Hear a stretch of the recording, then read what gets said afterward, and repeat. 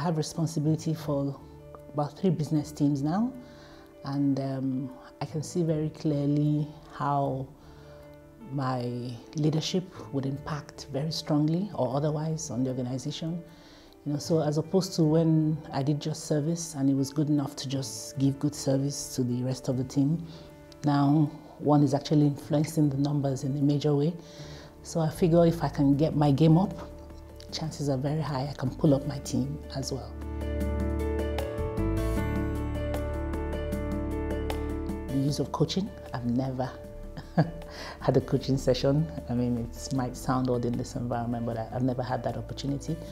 So I had the one hour session, and in about 10 minutes, all was well. So I can imagine that I could use a bit more of that when I get back, and then it, it could probably be very helpful for my direct reports. And um, I work, I'm overseeing HR as well, so the HR team will probably be able to make very good use of that as well. And then high quality connections. Um, I find that I have some, and they're not enough but I spend my time more on the good connections. So, I mean, it's clear now that I have to go out of my comfort zone and build more and more connections so that I can achieve more and more the kind of results that um, are critical now, especially in a recessionary environment. You have to push that much harder, go, you know, reach, you do a, a lot more to get the same results.